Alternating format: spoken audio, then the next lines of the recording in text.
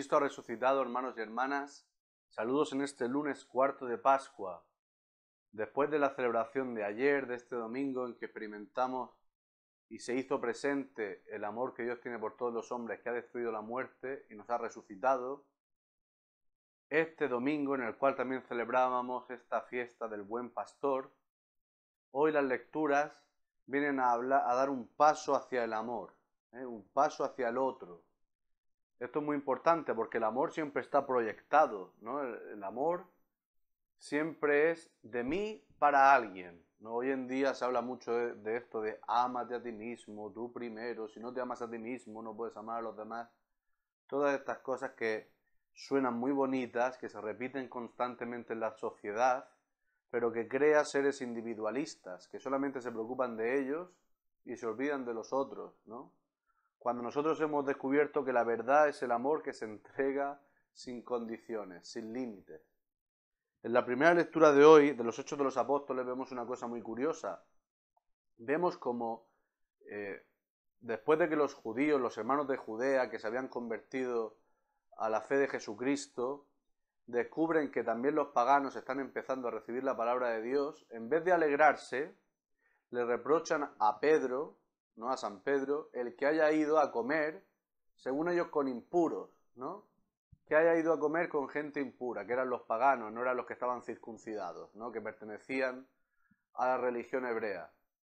Esto es muy interesante porque desde el principio eh, del cristianismo, el principio de que nace esta iglesia primitiva, vemos como enseguida surge el fariseísmo. Volvemos a, de alguna forma, la actitud de los fariseos que tenían hacia Jesucristo. ¿No acordáis tantísimas veces que los fariseos le decían a Jesucristo? Tú vas a comer a casa de publicanos y pecadores. ¿eh?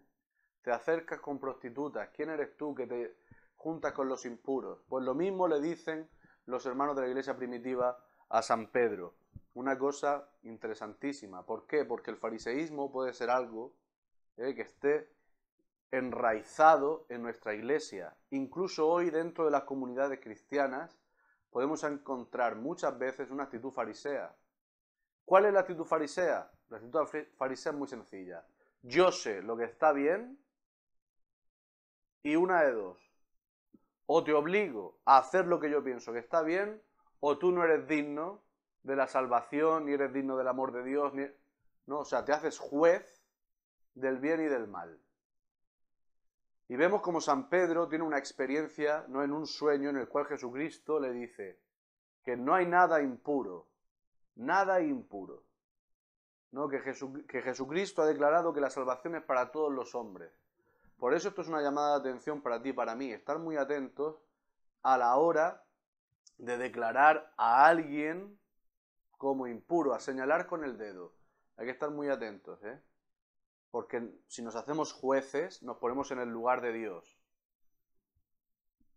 Y el lugar de Dios al final es este, la salvación del hombre. Y yo no sé si tú tienes este amor para ponerte en su lugar, porque Dios en vez de juzgar y condenar, lo que hizo fue decirle al Padre, Padre, perdónalos porque no saben lo que hacen. ¿Cuántas veces tú tienes esta actitud en frente del otro? El poder decir, Padre, perdónalos porque no saben lo que hacen. Atento con el fariseísmo, que además es una doble moral siempre, porque aplico la ley para el otro, pero conmigo normalmente suelo ser, bastante suave. Al otro sí que estoy listo para darle en la cabeza, pero para mí siempre hay una justificación. Y gracias al amor que Dios nos tiene, se manifiesta en esta lectura cómo la salvación es para todos, y hasta para el pecador que a lo mejor tú y yo despreciamos en nuestro corazón, que nos gustaría que no estuviera presente, Dios nunca pierde la esperanza con nadie. Es más, Dios es la esperanza pura. Dios nunca se rinde con nadie, no se rinde contigo. Si tú hoy te encuentras en una situación de pecado que te piensas que te aleja del amor de Dios, no te preocupes, Dios te ama tal y como eres. No se ha cansado de ti. ¿Eh? No pierdas el ánimo, no pierdas la esperanza, que Dios viene a buscarte para hacerte feliz. Por eso yo te invito a que con el salmista en este Salmo 41 pueda cantar verdaderamente este estribillo que dice, estoy sediento del Dios que da la vida, estoy sediento del Dios que da la vida, porque de Él solo te va a venir la salvación y la vida eterna, la felicidad.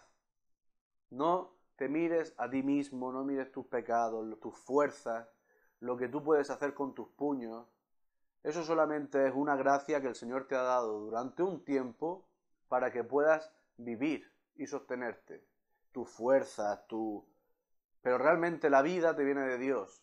Vuélvete a Él, pídesela a Él, que Él no te va a rechazar, Él te ama profundamente. ¿no? Esto se hace muy presente en este Evangelio de Juan, en que sigue este tema hoy del buen pastor, ¿no? En que Jesucristo dice, yo soy el buen pastor, el que da la vida por sus ovejas.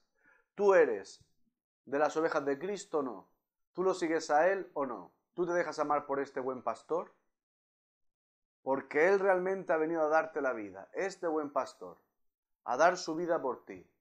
Dice aquí, los demás, los asalariados, los que hacen las cosas, no por amor, sino por dinero, por intereses humanos, etc., en cuanto viene el lobo, salen corriendo y abandonan las ovejas. ¿Quiénes son estos? Pues estos son estos falsos profetas de hoy en día que nos ponen presente la felicidad que pasa, ¿no? El éxito, el prestigio, el, el ser alguien, el poseer cosas. Todo esto, en cuanto aparece la dificultad, los problemas, la crisis, te abandonan, ¿no? Tantísima gente que a lo mejor pone su vida en los políticos, tantísima gente que a lo mejor no se pone su vida en una solución global, lo que sea. Vosotros veis, en cuanto llegan los problemas, aquí todos se echan la culpa a todos, ¿no? Nadie se hace responsable de nada. ¿Quién mira por los pobres? ¿Quién? Solamente Jesucristo. Jesucristo es la única, el único pastor que verdaderamente cuida las ovejas, hasta el punto de que si tú te pierdes, Él deja las 99 para buscarte. Ese es el amor que Dios te tiene. Y te carga sobre sus hombros para llevarte de nuevo al rebaño. ¿eh? Cargándote sobre sus hombros significa que te carga aunque estés manchado, aunque... Eso es una, cargar con una oveja, que parece una cosa muy idílica, parece como que cargar con una oveja es como cargar con una nube, ¿no? Una cosa muy pura no es así. Estás cargado con la oveja, a lo mejor se orina, eh, hace sus cosas, está sucia. El pastor tiene que ensuciarse, coger, agarrar el olor a oveja, como decía el Papa Francisco. Ese es Jesucristo lo que hace por ti y por mí. Igual que todos los pastores que hay en la iglesia. Yo os pido, hermanos y hermanas, que recéis por todos los presbíteros, por todos los pastores que hay en vuestra comunidad, para que puedan verdaderamente ser uno con Jesucristo y tener el olor a oveja, haciéndose uno con su pueblo. Espero que el Señor os regale un muy buen día y que Dios os bendiga.